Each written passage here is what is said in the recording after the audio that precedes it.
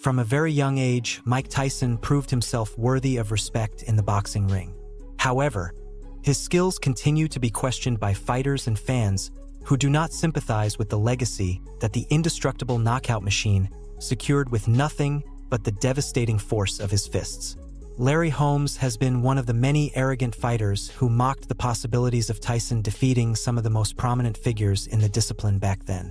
But what happened when it was his turn to face the youngest heavyweight champion in history? Welcome. In today's video, I invite you to join me in dusting off the archives of the fight between Mike Tyson and Larry Holmes. Stay until the end. You won't believe what the fourth episode was like. Tyson, at 21, was 17 years younger than Holmes, who was 38. Probably, Larry's experience could play in his favor. But having been out of the ring for 21 months was a factor that it was unknown if instead it would harm him. One factor that did harm him was his sharp tongue, using it as a tool of discredit against who was already the youngest heavyweight champion in history. For Holmes, a fighter with Mike Tyson's profile wouldn't have survived his first fight in the 70s. Holmes used to joke that Joe Frazier would slap him so hard he'd send him back to preschool, or that Ali could jab him all day if he wanted. Also, he often talked about not being able to fight Ken Norton and that George Foreman would only take two seconds to beat him. All these statements shed light on a regrettable fact, which was that the legendary Larry Holmes felt no respect for the professional career Tyson had forged at such an early age. Being boxing a gentleman's discipline, Tyson, even at his age, knew that the final word was always in the fists. So, on January 22, 88, he let an exquisite demonstration of good boxing be his best defense. The Atlantic City Convention Center in New Jersey was designated as the venue to host all those who wanted to witness this moment in the history of the sport. It wasn't just two boxing machines stepping into the ring. It was a battle for the absolute crown of the division.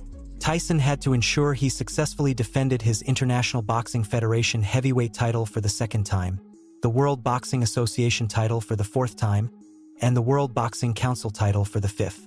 Everything seemed to indicate that it wouldn't be such a difficult task, as the odds favored him even at 8 to 1. Holmes was the one who had to prove that he could also beat Tyson in two seconds and start boasting about his own skills rather than those of others. His professional record was a good resume for the job. With 48 victories, 34 of them by knockout, and only being defeated twice before. But Tyson had no reason to worry when looking at his opponent's past. He had already built a good resume for himself, eight of them by knockout, without being defeated. Could Larry Holmes deliver his first taste of bitter defeat? That was the question hanging in the air. With the sound of the bell, Tyson launched himself at Holmes without any fear. Holmes relied on his good footwork to move around the ring, avoiding exchanging blows with Tyson.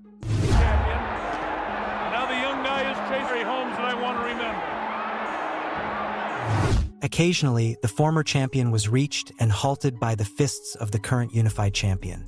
It seemed like Holmes was going for the first reconnaissance round that many fighters need to study their opponent and come up with a strategy. However, Tyson trusted his ability to secure victory from the very first second. Trying to pick up the pace. Larry. Holmes' 21 months out of the ring were taking their toll. Tyson rushed at Larry at the start of the second round, and he just lay motionless waiting for him to arrive. His movements around the ring began to seem like cowardly attempts to avoid confrontation. Every time Tyson got close enough to attack, Holmes would clinch, reducing the chances of that happening. Knocking out Joe Louis. I'm a huge fan of Holmes. He's an easy target for Mike. Occasionally, he would use his fists to counterattack and try to stop Mike's intense offense.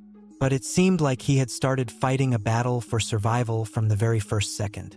His career, he's never been hurt. And I hope he doesn't get hurt tonight. In a scheduled 12 round encounter, there was still plenty of time for him to flee if he intended to make it to the final round standing. By reducing his movements, Holmes became an easy target for Tyson's hard punches. His defense seemed to have some vulnerabilities, and his counterattacks seemed inadequate compared to his opponents. Notice? That's a powering jab. Larry never. Tyson has a lot of respect for the formability of Larry, but he has to do what he has to do. By the time Tyson's sadistic combinations began to rain down on him from all sides, Holmes realized he had gotten himself into a situation from which he wouldn't easily escape. And there's the bell ending the round. Despite his poor boxing display, Holmes wanted to play the tough guy at the start of the fourth round. With his fists down, he jumped around the ring inviting Tyson to attack him, if he was so brave.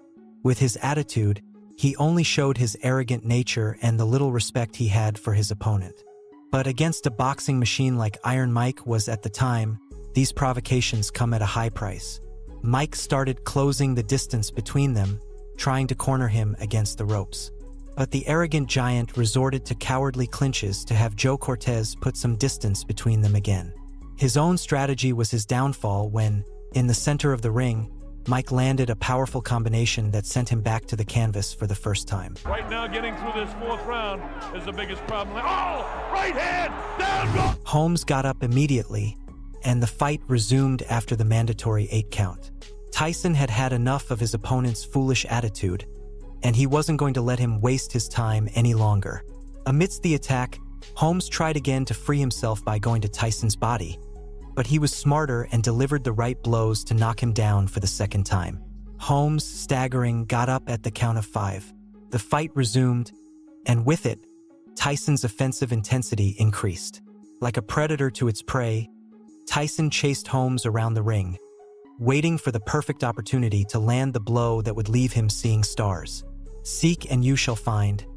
And cornering him against the ropes, seven seconds before the end of the round, a brief flurry of punches left Holmes inert on the canvas. Mike showing patience get set for the big shot. Right hand hurt Larry again. He's back at his heels, left in the eyes. Larry gets nailed with the left hand, the right hand, digs for the body, goes to throw right hand, gets clipped with a big... It's over, said the commentators as Holmes lay with his arms spread on the canvas. The arrogant fighter who tried to humiliate Tyson had been annihilated in just under four rounds. This time, Joe Cortez didn't even need to start the safety count. On the contrary, he hesitated whether to call a coroner to collect the remains of the great fighter that had been scattered after the massacre that took place during the last minutes of the fight. Although he didn't receive the same from his opponent, Tyson praised Holmes in the post-fight interview. He was a legendary fighter, he said. If he were in his prime, he wouldn't stand a chance, he continued. After this tough defeat, Holmes decided to take a break from the boxing rings. To recover from his encounter against the youngest heavyweight champion in the world, he needed a little over three years. However, he returned to the scene in 1991 and remained active until 2002, the time of his definitive retirement. If you've made it this far, I appreciate it.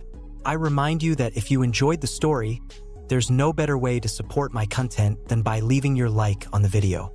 Do you have some free time left? You can always take a look at my channel.